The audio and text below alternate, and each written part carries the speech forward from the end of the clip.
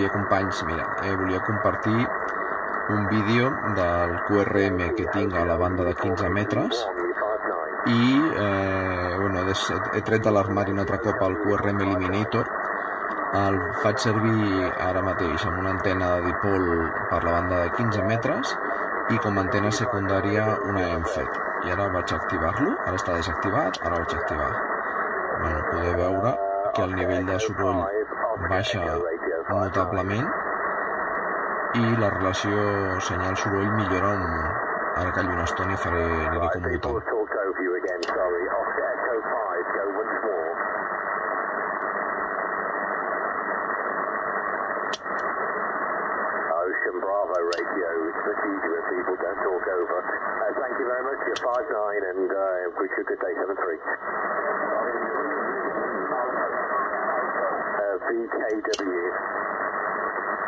Bravo radio. It's much easier when people don't talk over. Thank you very much. You're 5-9 and wish you a good day, 7-3. VKW. Is VKW? VKW? Uh, Echo Kilo Whiskey, Echo Kilo Whiskey, 305, Echo Kilo Whiskey 5 Companys, mira, ara us faig aquest petit vídeo per ensenyar quina pinta té l'equip, l'equip eh, QRM Eliminator. Eh, aquest és un dels de senzills, de, comprat a través d'una de les botigues online, Amazon, AliExpress, una d'aquestes. Eh, L'equip té dues entrades i una sortida. Una entrada és la de l'antena principal, que li controlem el guany amb aquest botó. Una altra entrada és la de l'antena secundària, que seria la que té com a objectiu captar el soroll i desfasar-lo respecte a l'antena principal per eliminar-lo o reduir-lo. I després el botó de fase, que ens serveix per anar desplaçant la senyal i poder neutralitzar el soroll entre els guanys de les dues antenes i la, i la fase. Us vaig a compartir l'experiència de la interferència eh, bastant, bastant intensa que tinc a la banda de 80 metres a aquesta hora.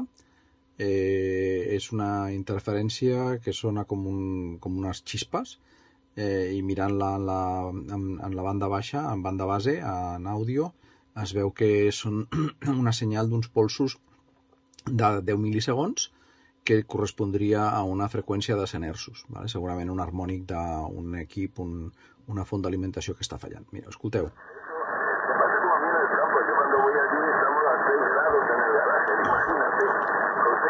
Ara activaré el QRM Eliminator.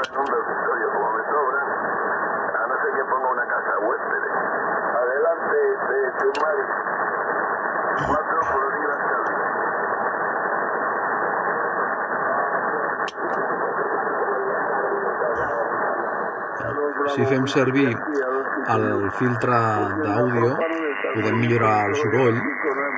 Vale? Si el poso al màxim d'ample de banda, que són 3,4 kHz, podem anar a la funció d'àudio i fent-li el hold podem veure aquí els polsos que us comentava de 10 mil·lisegons entre polsos, que correspondria a una freqüència de 100 Hz, per tant seria el segon harmònic de la xarxa de 50 Hz i és clarament alguna font d'alimentació un, uns leds, un equip que està funcionant malament i està fent aquest, aquest soroll tan característic.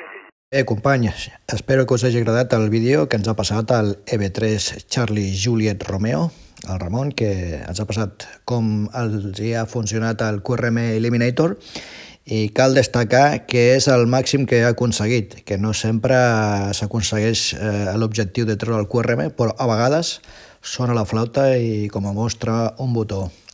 73 cordials, recordeu que si us ha agradat doneu-li un bon like i ho podeu compartir entre els companys. Vinga, que vagi bé.